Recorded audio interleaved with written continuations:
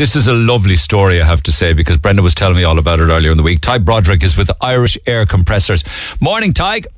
Uh, good morning, Neil. How are you? Thanks for getting in touch. Now, you were getting in touch because you heard us talking about old characters and old times and a bit of nostalgia.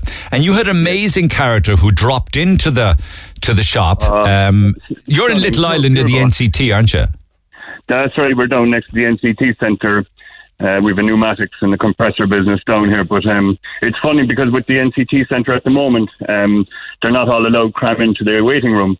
So you see a lot of people hanging around outside, and as the weather gets a little bit cooler or a bit wetter, they all seem to develop an interest in air compressors and pneumatics where it's nice and warm. You know? all of a sudden they want a big, well, like a big pneumatic drill or something, is it? Yeah, yeah, that kind of thing. They browse around, but they give themselves away because they never arrive with a car. There's never a car pulls up outside. It's always just someone on foot, you know. So your but, uh, heart was yeah. touched and you were made uh, laugh by a fantastic 87 year old gentleman who dropped in. Uh, he, he was pure Cork gold. Um, it was Mark, uh, one of our service engineers, was in the shop at the time, and um, he asked me, he said, "Geez, you have to check the CCTV system. There's a there's a guy came in and he's absolutely stellar." So he did, and you you don't see the likes of these guys anymore. I remember them from when I worked behind the bar in Douglas years ago. You'd see all the old characters, but uh, no, this guy came in uh, fit as a fiddle now, and uh, he looked straight at Mark and he said. Uh, I, I know songs, he said, over 200 years old, he said, you know. And so this is I, a character just rocks in with the mask yeah, yeah. on him, leaning against the yeah. counter kind of thing. Yes, he found a counter. you know, he found a counter, even though all the pubs are closed. And it's, it's about the same height as well. but uh, pure gold. Um, yeah, he said, he said, I have 30 songs in my head, he said, and I can stand here and sing for an hour and a half, you know. um, and he said, I, I'm out seven days and seven nights, he said. And he, he's the same guy now, and we never got his name, but he goes to nursing homes three to four times uh, a week, and he said they can't get enough of him, you know? so um, he was saying that um, singing is a great therapy, he said. All I do, he said, is work, drive, and sing. So, um, so with that anyway, Mark was just doing up, uh, he bought some little thing in the shop, but um, Mark was just doing up his bill Next thing, out, out he belt, full vocals, not, nothing wrong with this man's lungs. Belts out, there's only, there's always me by Elvis. Full song inside the shop, you know. There's and, uh, always me. and he gave, and he gave it Holly. I tell you one thing, there's nothing wrong with this man's lungs, you know. but uh, in fairness, now Mark too would love that would be right up his street too, listening to that, you know. Um, but uh, yeah, and uh, it, it, basically, uh, we're trying to track him down. Uh, we're, we're doing a little bit of building work here at the moment, so I couldn't see his face.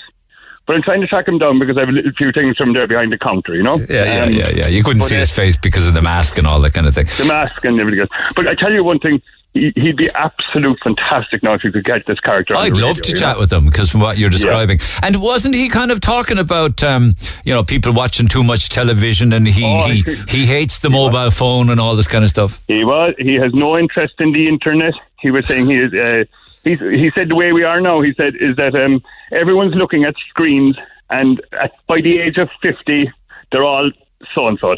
And he said, I he had friends and he, well, he's referring to his Alzheimer's. He's friends, he's friends that uh, he said they're, he said uh, they're all effing dead now. said some of, and some of them had Alzheimer's. He said, and these guys had big, powerful jobs in big factories, and he named off a few of the places where they worked. You know, but pure. Um, and and I suppose he was yeah. alluding to the fact that a lot of their jobs had stress in them and and deadlines and you know, yeah, yeah. You know. This guy, I, would love to know where this guy worked because I'd say he was a great character all through the years, you know. But absolutely fit I think I got it, um, Neil, that his wife of 60 years died about six years ago. Um, but um, so he hated being at home, and he's out seven nights and seven days, and he drives around the place, and he goes, he goes to spins to Youghal and Dungarvan, and uh, just, uh, to occupy the mind, you know. But it's a terribly nice man. And do you, do you know if? He um, is local. Like, I mean, he clearly is from Cork. I imagine I haven't oh, yeah. heard his accent or anything, but he, he could well be listening, for instance. I mean, uh, geez, well, if he's listening, he needs to come back here and, and collect his uh, collect his spoils there behind the counter. I have a nice uh, few things there for him. You, you didn't know? get a Christian name or anything like that? No, got nothing. Got nothing. But did he uh, say anything about the the year? Did was he philosophizing about coronavirus or anything? No. he did, Neil. I'm not sure I should tell you what he said about He coronavirus. Did you say it was a cod, is it? Even yeah, if you want, yeah, in, in a different manner, yes, he was implying that it was. Uh, he he kind of um, he he sounded out Mark first in kind of a what do you think of all this coronavirus, and he, he got a half a comment out of Mark, and that just set him off. Oh yeah, he's cute. So he's crabbit. He yeah. got the lie of the land first. He- he Okay, did, so we're looking for an, a man. How do you know his age? I'm, fi- is it eight? I'm 87 years of age and I can sing for an hour and a half. I, I'm 87 years of age. I know songs that are over 200 years old. I, said, I know one song that's 240 years old. and and he said, I, I have 30 songs in my head at all times. I could stand here and sing for an hour and a half. He said, You wouldn't get it in the opera house, he said. Somebody's telling me it wasn't Elvis Presley at all that sang that song. There's always me. It was actually Dickie Rock. Oh, maybe, was it? maybe both Yeah. of them did it. I'm open to correction Yeah, yeah, on that. yeah. Okay, so let's. This was Tuesday. Into into Last your Tuesday shop, week. Irish Air. Oh, last Tuesday week, Irish Yeah. Air Compressors in that would be the Little Island Commercial Centre, wouldn't it? Yeah, we're next to the NCT Centre, yeah. Yeah. Yeah. Down Euro Business Park. That man uh, currently on the radio talking about the elderly man. The man he's referring to is my grandfather that sings in the nursing home. So we're, we're Ah, well, we're we're starting uh, to get a little bit more information regarding this chap. So that's a good start. Yes. We're, we're go- we're, that was a text. We'll just call that texter now and see if we can track down that gentleman for you. Yeah, you have to track him down. He's pure gold, this guy, like, you know. Uh, people will see what I'm talking about if you can get him on the airwaves. No better boy. No better boy. Hold, hold on. Hold on a second. there. Hold on. Kian. Yeah. Kian, can you turn the radio down there in the background if you don't mind? This should uh, tip people off. Sometimes there's feedback. So just turn that down and I'll be able to chat with you. Yeah. I don't know. Kian, is that your granddad? It is. Are you sure? 100% certain. What makes you certain? We sent him down there for parts for us last week, and he goes down there regularly. He's brilliant. He's absolutely brilliant. Yeah. What What Yeah. did you need? A part for what? A pump or something? A compressor. Compressor. so would you be able to Would you be able to track him down for me? Clearly you would. I would. Yeah. Is he a character? There's nobody like him. He's fantastic. He's not joking. He's, he's absolutely brilliant. Okay, He's because to himself, you know. because Tadhg and the lads here want to give him a few gifts. Oh, brilliant. Uh, he brightened up our day. You don't see that inside an engineering company at all. for And sake. and and Kian, does he go around singing in nursing homes all the time? Is it? Yeah, he went before the lockdown came in. He regularly went to a lot of nursing homes, and he sang. For, he say he knows. I don't know. I- Like he said, I don't know. He says all the time. He knows thirty songs off the top of his head. But he goes every week. He goes out to my nan's grave, and there's a couple of people up in the graveyard that come out as well.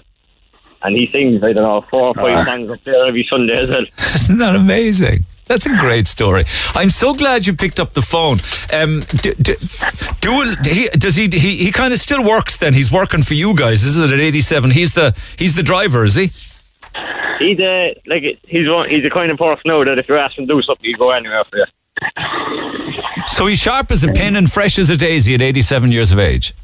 Yeah, and he tells everyone all the time how old he is well. He's dead right. he should be singing it from the rafters. All right, Kian, will you ever have a chat with him? See how he's fixed. I will. We, we were just with him 10 minutes ago. All right. Well, you better tell him that we're talking about him on the radio, and we'd love to catch up with him. Do, could I ask you his name? Would that be uh, too much to ask? It's uh, Dennis O'Callaghan. The great Dennis O'Callaghan. So, Tadhg, yes, sir. we're putting pieces to the jigsaw puzzle for you. Uh, you, you, you, if you get to chat with this character, he's fantastic. All right. he really well, is. It'd be good to catch up with Dennis. Let's see if we can make it happen. I'll be back to you, Tadhg. All right. Well, dear, just as I'm on dear, could I could I just thank the, the, the staff that we have here, Neil? We have a great bunch of guys on the compressed air store and and Irish air compressors. I'd like to thank them for all they've done uh, in the past and wish them all very happy New Year, uh, happy Christmas and Fair happy play. New Year. Okay, let's and send- same to all of our customers, of course, over the last 22 Fair years. play to you. Let's send a couple of pizza vouchers your way, and you can have a pizza party there with some hot piping oak fire pizza. All right. Thanks very much, Neil. Appreciate Okay, it. I'll be back to you though, Tadhg. I will be back to you. Listen, Kian, appreciate you coming, uh, g- making touch. Delighted to hear that it's your granddad. Can you give him a bell for me? I will. I'll ring him. He'd be he'd be happy to talk to you anyway. He'd be happy to